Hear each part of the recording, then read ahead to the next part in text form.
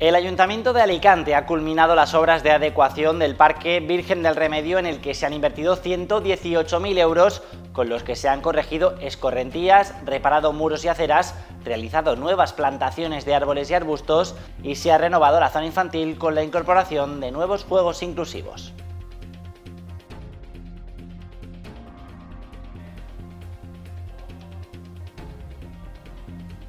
Saludos, bienvenidos a Info Alacantí. Esta completa renovación está dentro de los planes de adaptación, de la mejora de los parques de la ciudad. En este parque de la Virgen del Remedio, como veíamos, destaca la completa renovación del espacio infantil con la instalación de juegos inclusivos, adaptados para personas con diversidad funcional y que permiten que todos los niños jueguen en el mismo espacio.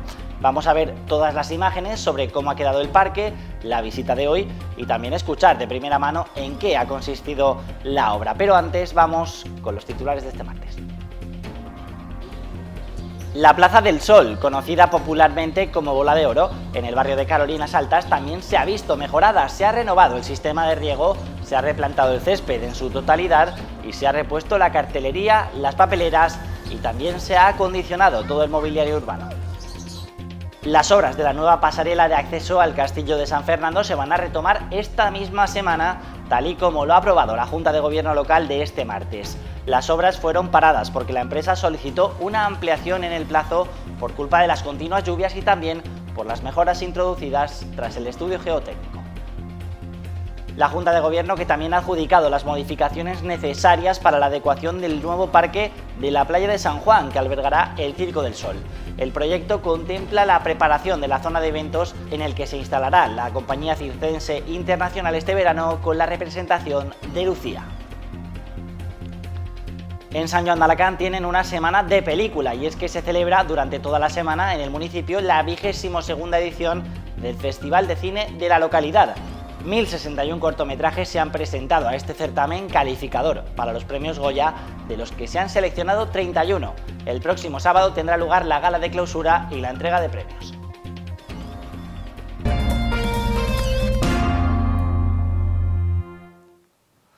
Se está realizando una mejora en los diferentes parques de la ciudad de Alicante y este martes hemos conocido cómo ha quedado el parque del barrio de la Virgen del Remedio. Ha sufrido una renovación completa y se ha cambiado por completo la zona de juegos infantiles, incluyendo juegos inclusivos en el espacio infantil para que todos los niños puedan disfrutar al aire libre.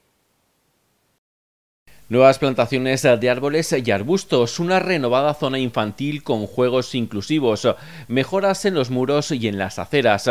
Estas son parte de las obras de adecuación del Parque Virgen del Remedio, en las que se han invertido más de 110.000 euros. Es una inversión cercana a los 100.000 euros. Creo que, como podéis ver, el resultado final es, es fantástico. Hemos convertido una zona que era bastante degradada en un parque eh, a la altura de cualquier de los mejores parques de Alicante y es simplemente lo que estamos comentando. Es una actuación que dentro de ese plan de actuaciones que vamos a seguir haciendo durante este año con, con nuevas inversiones para que Alicante, todos los barrios de Alicante se sientan igual de, igual de tratados. Este parque presentaba desperfectos en sus componentes debido a la exposición a inclemencias meteorológicas y al desgaste por los años. Además, en los próximos meses se va a construir un ecoparque junto al campo de fútbol. La bola de oro en el barrio de Carolinas Altas es otra de las zonas verdes de Alicante que se ha visto mejorada recientemente. Se ha acondicionado el mobiliario, se han cambiado las papeleras y la cartelería y se ha renovado el césped y su sistema de riego. Además, se ha instalado un vallado provisional para evitar que los animales invadan los nuevos sembrados. El consistorio de Alicante sigue con su firme compromiso de aumentar las zonas verdes y mejorar los parterres de la ciudad. La Plaza del Sol, conocida popularmente como Bola de Oro, es uno de esos emplazamientos donde se han llevado a cabo obras de mejora. Un trabajo constante de mantenimiento de zonas verdes y eh, concretamente en este caso estamos aquí y además aprovechando una campaña de concienciación para actuar sobre los propietarios de los animales, de los perros, para que sepan realmente cómo deben actuar para un mantenimiento de, los parques que, que, al fin y al cabo creo que embellece la ciudad y es un trabajo que tenemos que hacer entre todos. Precisamente para los dueños de las mascotas se ha instalado un vallado provisional en los parterres para evitar que los perros invadan los nuevos sembrados. Alicante, que aprobaba también hace unas semanas el nuevo Plan Integral de Residuos. Hoy le han preguntado al concejal de Medio Ambiente, Manuel Villar, por un recurso presentado por los ecologistas. El edil ha dicho que el equipo de gobierno no está preocupado porque se ha hecho todo de forma correcta. Nosotros estamos convencidos de lo que hicimos. Eh, una cosa, que es lo que ya dijimos en su momento, una cosa es que si nosotros tenemos la opción de hacer A o B, elegimos A, tan legítimo y tan legal es A como B. Otra, otra cosa es que no les guste pero es tan legítimo y tan legal lo que hemos hecho como la opción que ellos plantean. Pero era una, alternativa en la que teníamos libertad de hacer y nosotros eh, decidimos que esa era la opción correcta.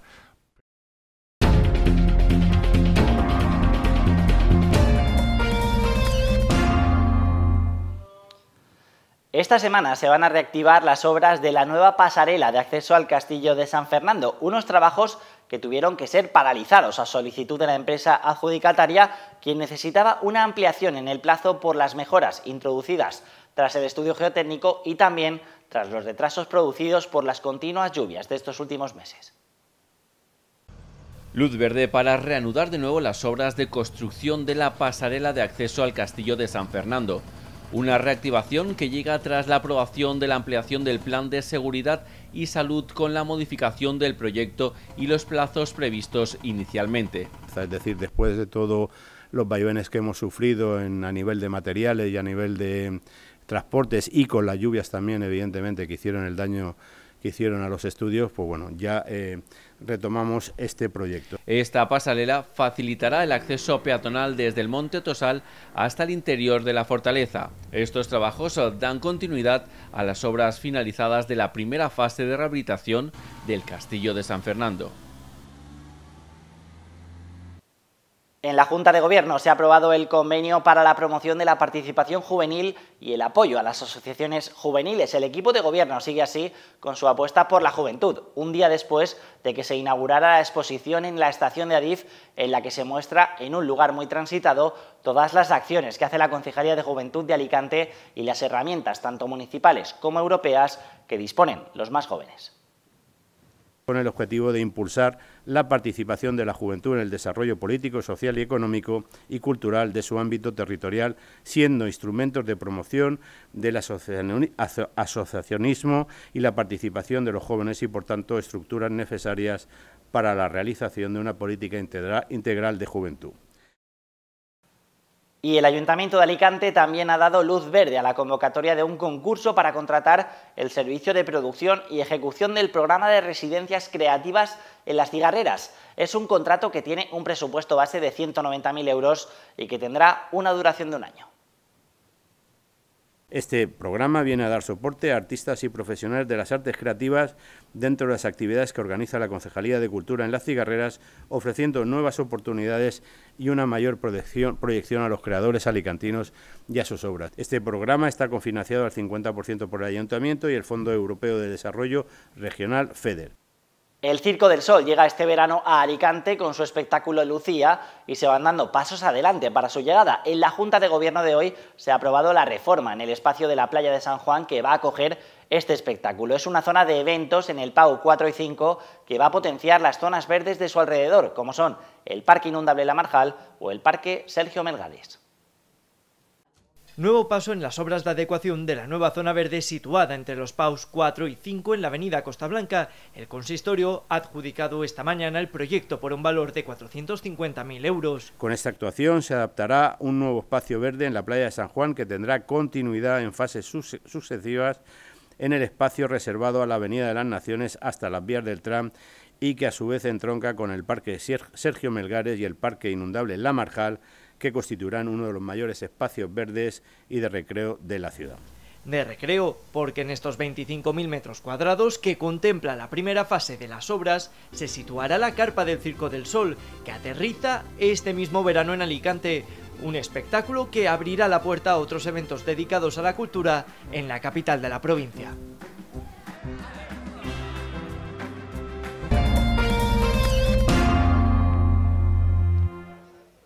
Uriol Junqueras, uno de los líderes independentistas condenados por el procés catalán y presidente de Esquerra Republicana de Cataluña, ha aterrizado esta mañana en Alicante para respaldar la candidatura de Miquel Forcada a la alcaldía de la capital de la provincia el año que viene. Pese a estar inhabilitado hasta el año 2031, sigue presidiendo el partido y su presencia ha levantado revuelo en la Plaza de las Flores, en el Mercado Central. Estem aquí per escoltar la gent, eh, per preocupar-nos per el que li preocupa a la gent, eh, per la situació social, per la situació econòmica, eh, per la situació d'infraestructures, per la situació educativa, universitària, etc etc. i és una oportunitat avui treballar al costat del nostre candidat a la, a la ciutat d'Alacant. Esta visita de Junqueras, que no ha pasado desapercibida en la rueda de prensa de la Junta de Gobierno local, Antonio Manresa, el portavoz del equipo de gobierno, ha querido trasladar este mensaje. El gobierno municipal quiere decir que Alicante es una ciudad abierta, acogedora y que bueno que recibe también a todo tipo de gente, inclusive a indultados que vienen aquí a presentar libros diciendo que van a volver otra vez a hacer eh, mm, golpes de estados para que luego otra vez los vuelva a indultar el gobierno. Alicante, como he dicho, es una ciudad acogedora y está encantado de que venga el indultado Oriol Junqueras a presentar su libro en el mercado central en el día de hoy. Dice que Alicante es una ciudad acogedora, no desde luego con su gobierno. Alicante es una ciudad acogedora siempre que tengas dinero. Si eres una persona sin hogar, se te multa, se te persigue y se te expulsa en nuestro término municipal. Por lo tanto, eh, lo que tendría que hacer el portavoz del equipo de gobierno es medir muchísimo más sus palabras y sobre todo eh, derogar una ordenanza que no hace Alicante precisamente acogedora. Cambiando de asunto, el portavoz de Compromís per Alacant, Nacho Bellido, ha pedido que se cumpla el acuerdo para instalar la residencia para ADIEM, que es la entidad sin ánimo de lucro cuyo objetivo principal es la integración social de las personas con problemas de salud mental o diversidad funcional instamos a ser un poco más responsables. Aquella que ha habido un acuerdo entre la Fundación y los vecinos, a que se cumpla ese acuerdo y a que les den ya de una forma clara el solar donde va a ir tanto el CRIS, el solar donde va a ir la futura residencia y esas dotaciones que se han pedido por parte de los vecinos y que son justas, que se crean realmente que se van a poner a cabo. El presidente del Partido Popular de la Comunidad Valenciana, Carlos Mazón, ha instado al presidente de la Generalitat, Ximo Puig, a hacer valer a su tierra y plantarse ante Pedro Sánchez para salvar el trasvase Tajo Segura. Mazón ha recordado que los expertos están desde hace años en la universidad o en la mesa del agua desde donde hace un mes le pidieron al gobierno de España que no pusiera en riesgo el futuro de Alicante ni tampoco de Almería o Murcia y ha reiterado el apoyo de su partido a la manifestación del próximo día 17 en Alicante para dar apoyo a los regantes y al trasvase.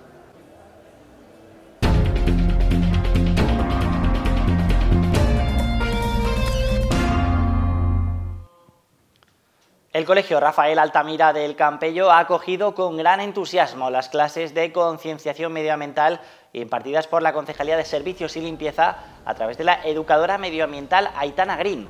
Durante este curso se hace especial hincapié en la importancia de la recogida de los excrementos de las mascotas, la labor del voluntariado medioambiental y el respeto por el entorno, además de las virtudes de las praderas de Posidonia oceánica y su necesidad de protegerla y difundir su valor entre visitantes y turistas. Cerca de 150 alumnos ya han recibido la formación en concienciación medioambiental que va a finalizar con una gran recogida de residuos el próximo viernes 20 de mayo en la playa y espigones de Carrer La Mar.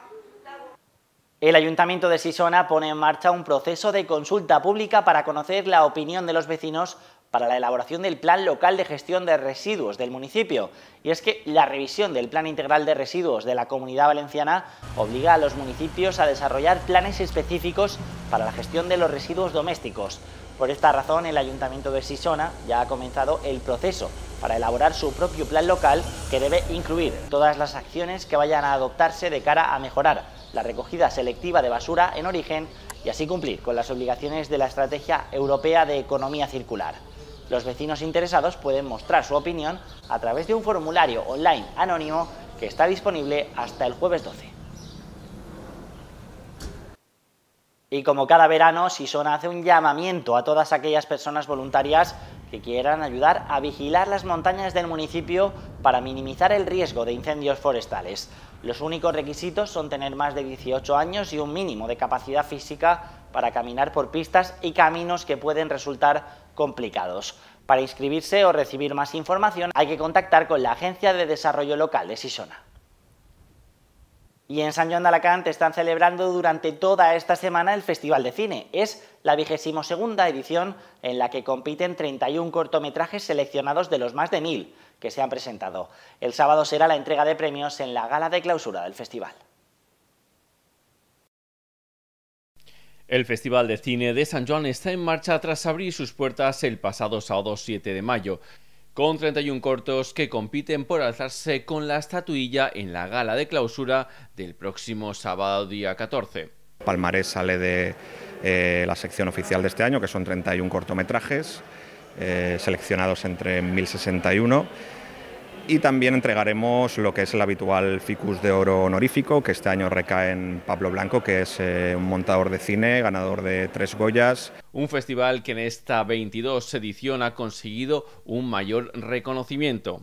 Ha habido un aumento de, la economía a nivel general en nuestro municipio. Las, eh, las empresas y el sector del municipio ha querido apoyar este festival y muchísimos patrocinadores han querido sumarse a, la Concejalía de Cultura y al Ayuntamiento con el Festival de San Joan en esta 22 edición. Así que desde aquí agradecerles, como no, su colaboración y a invitarles a que el año próximo también sigan arropando nuestro Festival de Cine.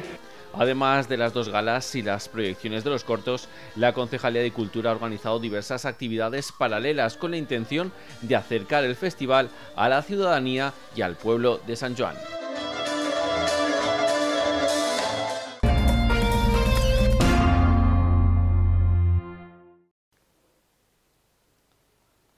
Terminamos como cada día con la actualidad deportiva. Unión, eso es lo que pide el Hércules. Aitor Baró, buenas noches. Buenas noches, Andrés. El Hércules ha comparecido hoy en la sala de prensa en una imagen poco habitual. Toda la plantilla, el cuerpo técnico, el asesor deportivo, el vicepresidente, hay que eh, disculpar a Carlos Parodi, que tenía una pequeña operación y nada grave, y no ha podido acudir, e incluso la propiedad todos ellos eh, para pedir unión y apoyo al equipo en estos tres partidos que quedan. Han recordado que el equipo está a solo eh, tres partidos, 270 minutos de conseguir el, ansiado, casi me lío, ascenso a primera ref. En cualquier caso, eh, lo normal. Capitán ha hablado, un discurso emotivo de un alicantino y herculano, también el entrenador, algo el asesor deportivo, pero sobre todo Enrique Ortiz, el propietario del Hércules, que no suele aparecer en público y menos hablar, pero que hoy sí ha pedido el apoyo para sus jugadores. Ellos son capaces de conseguir el ascenso. Hemos tenido momentos difíciles a lo largo de la temporada, pero también hemos tenido momentos que nos han dado confianza para creer en ellos. Yo tengo plena confianza en esta plantilla, en el cuerpo técnico. Creo que lo van a conseguir, que no va a ser fácil, que van a tener que trabajar y tener los cinco sentidos. No queda tiempo para el error ya, queda darlo todo, estar concentrados, olvidarnos del pasado, pensar en el futuro que, nos está costando mucho, pero las cosas que cuestan muchos, muchos se valoran más y se disfrutan más. Y yo creo que no nos queda otra. Como ves, Andrés, todo el mundo pide apoyo, todo el mundo pide unidad, eso sí, y aunque no haya salido ahí, todos reconocen que cuando acaben los partidos, la afición se puede expresar como quiera y que a final de temporada se pueden pasar todas las facturas que el herculanismo crea conveniente. Tú has dicho, dos partidos en un playoff y sobre todo lo que importa es en el césped, así que que cumplan y seguro que la, la afición responde y más aquí en Alicante. Yo confío en que la afición va a estar donde tiene que estar porque siempre lo ha estado y no va a dejar al equipo colgado en una cita tan importante. Pues eso lo veremos cuando llegue. Esta noche vemos Sport Alacanti. Te vemos luego, Aitor. Buenas noches. Igual es mejor plan que el del eh, playoff, espero que no. Seguro que sí. Hasta aquí toda la actualidad alicantina de hoy. Ahora les dejamos como cada día con el tiempo, con nuestro compañero Jordi Paya. Nosotros volvemos mañana a Info Alacantit a la hora de siempre y como cada día les recordamos que pueden seguir al minuto todas las noticias de la comarca del Alacantí en nuestra página web, en alacantitv.com. También están en todas nuestras redes sociales, en Twitter, en Instagram, en Facebook y por supuesto en la aplicación para dispositivos móviles, para iOS y para Android. Gracias por acompañarnos un día más.